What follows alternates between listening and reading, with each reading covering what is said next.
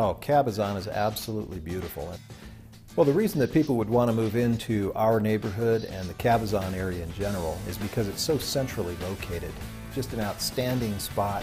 Uh, we have the Super Walmart nearby. There's a brand new 14 screen digital movie theater moving right in next door to the neighborhood. Cabezon in itself is kind of like a little a little gem, if you will, within Rio Rancho. I mean, it's, it's, it's right in the middle of Rio Rancho. Um, it's, it's minutes from restaurants and shopping and the new hospital and schools and, and you know, you drive through the community, there's parks, uh, all the walkways and trails are just meticulously maintained by the homeowner association. And it's just a fantastic centralized location. It's the place to be right now.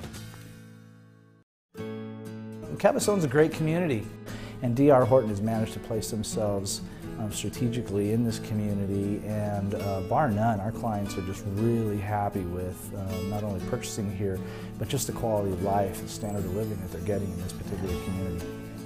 One of the, the real advantage of, of, the Cabezon area is that we actually have three different communities.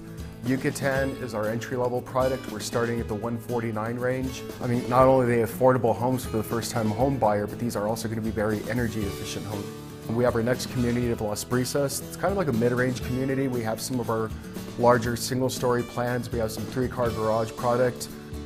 Albulera is our newest community. That's more of our higher end community. So a lot of the features that typically a buyer would expect to come to a builder and expect to, you know, upgrade is actually included.